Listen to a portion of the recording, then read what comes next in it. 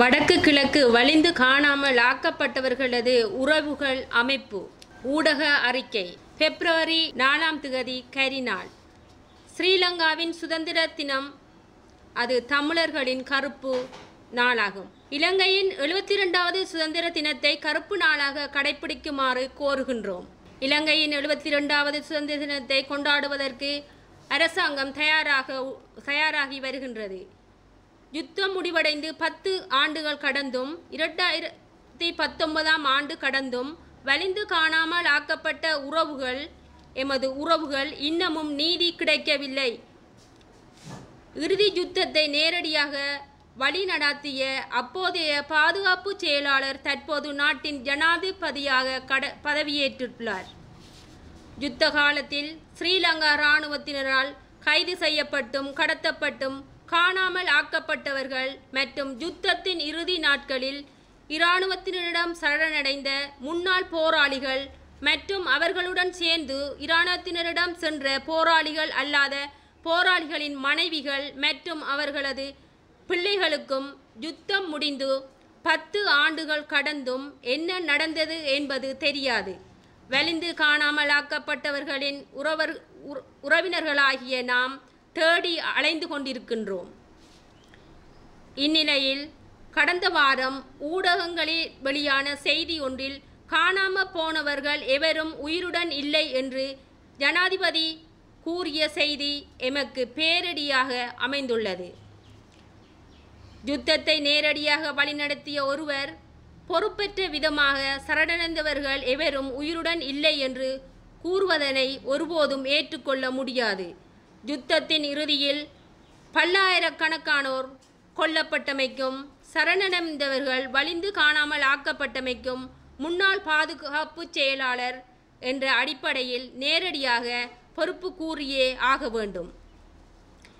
இராணுவத்தினரால் கைது செய்யப்பட்டவர்கள் இராணுவத்தினரிடம் ஒப்படைக்கப்பட்டவர்கள் இராணுவத்தினரிடம் சரணடைந்தவர்கள் உயிருடம் இல்லை என்றால் அவர்கள் எப்படி உயிரற்றவர்கள் ஆக்கப்பட்டார்கள் என்பது வெளிப்படுத்தப்பட்டு அதற்கு காரணமானவர்கள் தண்டிக்கப்பட்டு பட்டாக வேண்டும் என்று என்பது சட்டம். அப்படி இருக்கும்போது பொறுப்பற்ற விதமாக காணாமல் போனவர்கள் எவரும் உயிருடன் இல்லை என்ற அவரது கூற்றினை மிகவும் வன்மையாக கண்டிக்கின்றோம்.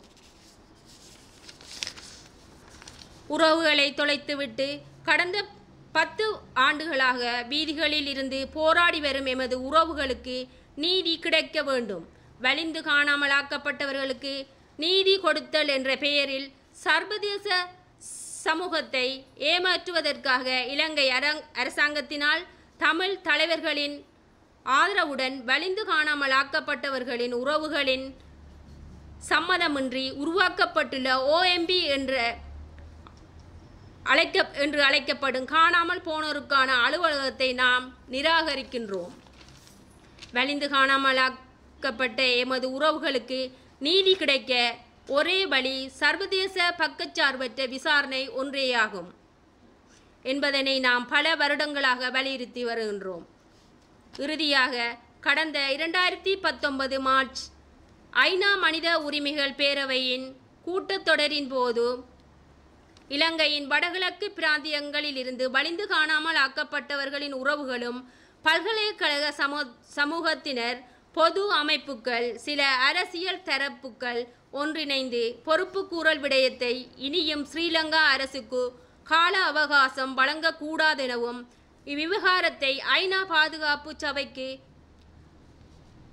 பாராப்படுத்த நடவடிக்கை எடுக்க வேண்டும் என்றும் வலியுறுத்தி இருக்கின்றோம் எனினும் அக்கோரிக்கைகள் புறக்கணிக்கப்பட்டு எமது கிழக்கு மக்களால் தெரிவு செய்யப்பட்ட தமிழ் பிரதிநிதிகளின் சம்மதத்துடன் காணாமல் ஆக்கப்பட்டவர்களின் நலன்களை முற்றாக பாதிக்கும் விதமாகவும் யுத்த இறுதியின் படுகொலை செய்யப்பட்டவர்களுக்கு நீதியை மறுக்கும் முகமாகவும் மேலும் இரண்டு ஆண்டுகள் கால அவகாசம் வழங்கப்பட்டமையின் காரணமாகவே யுத்த குற்றங்களுக்கும் வலிந்து காணாமல் ஆக்கப்பட்டமைக்கும் பொறுப்பு கூர் கூற வேண்டியவரான தற்போதைய ஜனாதிபதி பொறுப்பற்ற விதமாக அறிக்கை விடும் நிலையை உருவாக்கியுள்ளது.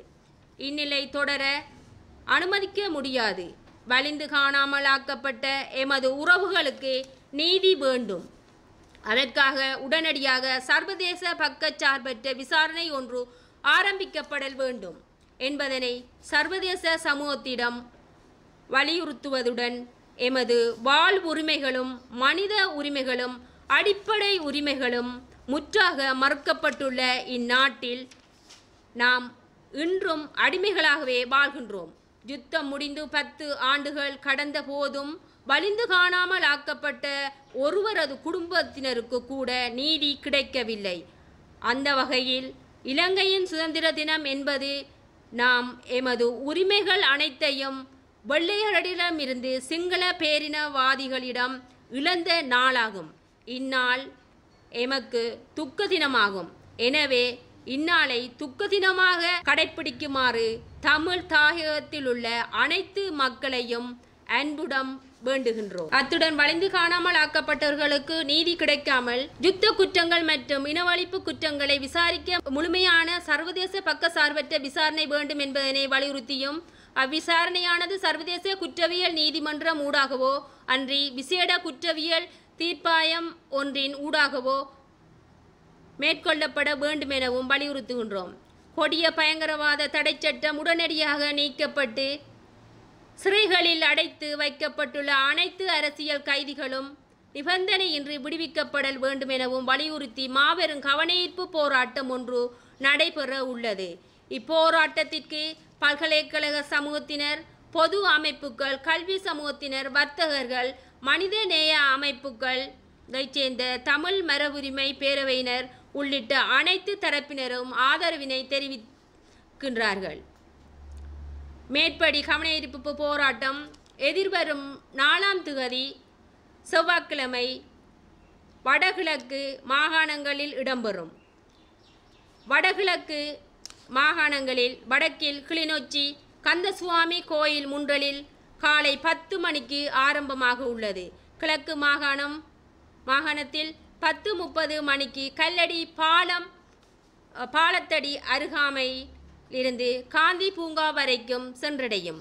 அம்பாறை மாவட்ட பேரணியானது ஆலேடி வேம்பு பிரதேச செயலகம் முன்பாக பத்து அறைக்கு ஆரம்பமாக உள்ளது. மேற்பரு மேற்படி போராட்டத்தில் அனைவரையும் பல்லாயிரமாக கலந்து ஆதரவு தருமாறு அன்புடன் வேண்டுகின்றோம். நன்றி. ஏற்பாடுகள் வடக்கு கிழக்கு வலிந்து காணாமல் ஆக்கப்பட்டவர்களின் உறவுகள் அமைப்பு.